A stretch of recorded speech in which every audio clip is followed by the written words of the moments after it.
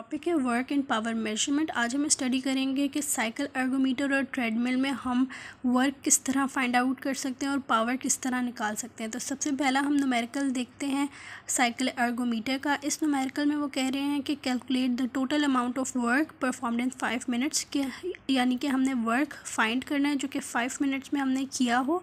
Five minutes of exercise in the cycle ergometer given the following resistance उन्होंने दी हुई है व्हील की, जो अर्गोमीटर का साइकिल अर्गोमीटर का व्हील है, उसकी रेजिस्टेंस है ट्वेंटी फाइव न्यूटन स्पीड है उसकी सिक्सटी रेवोल्यूशन पर मिनट यानी एक मिनट में सिक्सटी टाइम्स वो रेवोल्यूशन होगी उसकी, यानी वो गोल मूव करेगा सर्कल में मूव करेगा। डिस्टेंस जो कि ट्रैवल किया है, एक रेवोल्यूशन में वो है सिक्स मीटर तो डाटा हम देख लेते हैं ड्यूरेशन फाइव मिनट है रेजिस्टेंस ट्वेंटी फाइव न्यूटन है डिस्टेंस जो उसने मतलब कि जो रेवोल्यूशन पर रेवोल्यूशन डिस्टेंस जो ट्रैवल किया है, वो है सिक्सटी मीटर पर रेवोल्यूशन और स्पीड है sixty revolution per minute now अब हम सोल्यूशन देखेंगे। सोल्यूशन इस तरह करेंगे। हम कि टोटल वर्क निकालना है। तो वर्क निकालने के लिए फार्मूला होता है फोर्स मल्टीप्लाई बाय डिस्टेंस तो फोर्स तो हमारे पास उन्होंने दी हुई है, जो रेजिस्टेंस है फ्लाई व्हील की, वही जो है वो फोर्स है। हमने डिस्टेंस फाइंड करना है। डिस्टेंस हम इस तरह निकालेंगे कि जो टोटल रेवोल्यूशंस हैं, हमें पहले वो निकालनी है। अगर एक मिनट में जो है वो सिक्सटी रेवोल्यूशंस हो रही हैं तो फाइव मिनट में कितनी रेवोल्यूशंस होंगी तो ये हम इसको मल्टीप्लाई करेंगे। हमारे पास टोटल रेवोल्यूशंस आ जाएँगी three hundred three hundred revolutions हमारे पास टोटल आ जाएँगी। ये इन थ्री हंड्रेड रेवोल्यूशन को हम मल्टीप्लाई करेंगे, उसकी स्पीड उसकी उसकी जो है वो, क्या नाम है डिस्टेंस से। जो डिस्टेंस ट्रैवल हुआ है पर रेवोल्यूशन उसको हम मल्टीप्लाई कर देंगे टोटल रेवोल्यूशन से। तो इस तरह जब हम फोर्स और डिस्टेंस को मल्टीप्लाई करेंगे इक्वेशन में डाल के तो हमारे पास जो है वो टोटल वर्क डन हमारे पास आ जाएगा। फोर्टी फाइव थाउज़ेंड जाउल इसका वर्क आया है। ये जाउल्स में वैल्यू है किलो जाउल्स में अगर हमने वैल्यू निकालनी है तो हम तीन ज़ीरो की जगह के लिख देंगे, किलो लिख देंगे। नेक्स्ट नुमेरिकल है compute total work and power इसमें उन्होंने वर्क भी और पावर भी पूछा हुआ है कि हमने निकालनी है टेन मिनट्स की एक्सरसाइज हुई है, वो भी ट्रेडमिल के ऊपर। तो उन्होंने कुछ चीज़ें दी हुई हैं ट्रेडमिल ग्रेड दिया हुआ है।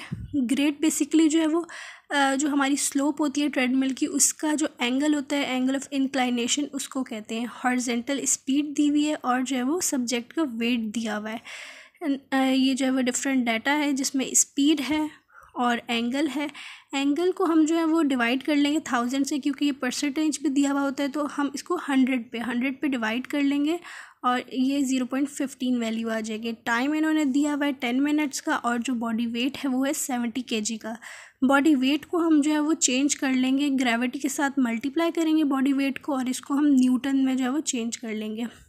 नेक्स्ट वही फार्मूला है वर्क निकालने का कि फ़ोर्स और जो है वो डिस्टेंस को मल्टीप्लाई कर देंगे। फ़ोर्स हमारे पास वही है जो कि बॉडी वेट की निकली है ग्रेविटी से मल्टीप्लाई होने के बाद, और जो डिस्टेंस है वो हम टोटल डिस्टेंस निकालेंगे। सबसे पहले जो है हम स्पीड को और उसके बाद जो है वो एंगल को और जो टोटल टाइम है उसको, इन तीनों चीज़ों को जो है वो मल्टीप्लाई करके हम जो है वो मीटर के अंदर डिस्टेंस निकाल लेंगे। इस डिस्टेंस और जो है वो फोर्स को मल्टीप्लाई करेंगे तो हमारे पास वर्क आ जाएगा कि कितना वर्क डन हुआ है। उन्होंने दो चीज़ें पूछी थी, एक था वर्क और दूसरी थी पावर तो ये तो हमारे पास वर्क निकल आए अब हम पावर को फाइंड करेंगे।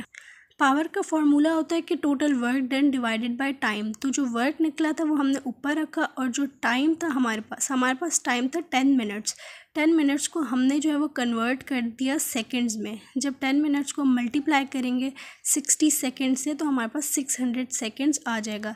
इस टाइम को डिवाइड करेंगे तो हमारे पास वॉट के अंदर पावर आ जाएगी. तीसरा न्यूमेरिकल में वो कह रहे हैं कि एनर्जी एक्सपेंडिचर निकालें हॉर्जेंटल ट्रेडमिल के ऊपर. तो ये जो है वो न्यूमेरिकल हम फाइंड नहीं कर सकते क्योंकि उन्होंने दिया हुआ है हॉर्जेंटल ट्रेडमिल ट्रेडमिल कभी भी हॉर्जेंटल नहीं होती क्योंकि अगर हॉर्जेंटल होगी तो हमारे पास जो है वो ग्रेड पॉइंट्स नहीं निकल पाएँगे। तो हमेशा ट्रेडमिल जो है वो थोड़ी सी इंक्लाइंड होती है ताकि हमारा जो है वो ट्रेडमिल का ग्रेड आ सके, तभी हम जो है वो वर्क कैलकुलेट कर सकते हैं।